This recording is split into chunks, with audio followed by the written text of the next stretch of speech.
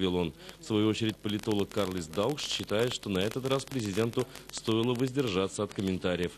Правда, исследователь Института внешней политики Раймонд Рубловский придерживается противоположного мнения и не считает, что Латвии нужно ухудшать отношения с Россией.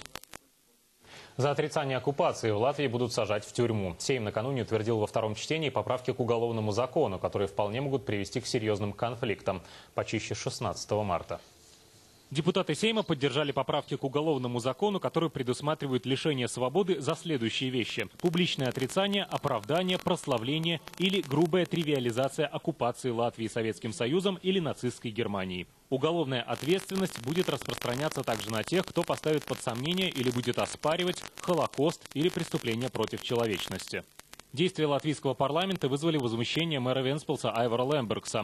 Вот цитата. «Думаю, большую глупость сделать сложно. Несомненно, принятие такого закона пока во втором чтении направлено на существенную дестабилизацию внутриполитической ситуации. И это гораздо серьезнее, несравнимо серьезнее, чем шествие или возложение цветов 16 марта». Конец цитаты.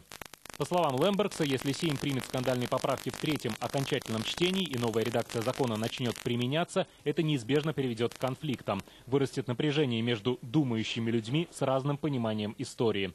Представитель оппозиционного центра согласия Валерий Агешин ранее также предупредил, что поправки о наказаниях за отрицание оккупации, благодаря расплывчатости формулировок, могут быть использованы для преследования инакомыслящих. Между тем, глава латвийского общества политрепрессированных Гуннерс Реснейс закручивание гаек поддержал. Он заявил, что демократия – это не пуп земли, а Латвия, по его словам, пострадала от обеих оккупаций – и от советской, и от немецкой. Несколько дней назад в детской больнице умерла